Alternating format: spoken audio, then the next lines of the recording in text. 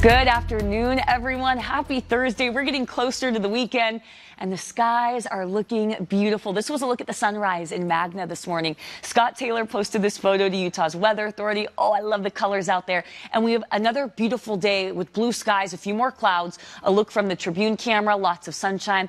And look at those skies down at Zion National Park. Lots of sunshine. So we're dealing with sunny skies in the south, partly cloudy skies in the north. That's what you're seeing right now. Uh, but we have two big things happening. So we have this storm that's to the north of us. And this is going to send a weak cold front. It's going to clip the beehive state.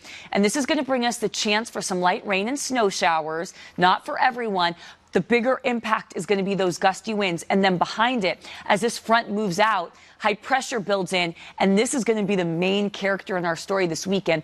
This is going to help those temperatures climb like crazy. We're talking a series of 80 degree days. Now, the big story with this cold front, as I mentioned, it's the winds. And we do have this wind advisory that'll go into effect at 3 o'clock this afternoon for our western Uinta Basin. This is where we're expecting the strongest gusts. Gusts up to 50 miles per hour, winds coming out of the northwest, 20 to 30 miles per hour. So if you're watching right now and you are living in these areas, make sure you secure some of those loose objects outside. If you've got some of that lawn furniture that's out or you're spending some time out there. In addition to that, we're going to see some of those canyon winds developing tonight across the Wasatch Front. So the timing of these winds, it's most likely from 11 o'clock this evening until 6 o'clock tomorrow morning. So those gusts coming out of the east, 35 to 45 miles per hour. This is going to make driving difficult late tonight into early tomorrow morning, specifically from Farmington to Centerville. We could see gusts up to 55 miles per hour. So I do want you to be prepared if you're going to be out driving tomorrow. This is going to make things a little bit more treacherous. So difficult driving.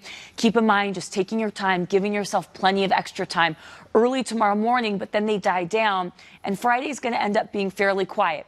Today, ahead of that cold front, it's going to look and feel good. Upper 60s, nearing 70, a little bit above average for us in Salt Lake City. Winds coming out of the northwest, 5 to 15 miles per hour. So it'll start to get a bit breezy this afternoon. Mid 50s in Park City. You'll see partly cloudy skies in the north. Nothing but sunshine down south. 87 in St. George, 77 in Moab, 50 in Evanston, and you can see 75 in eastern, uh, western Utah, excuse me.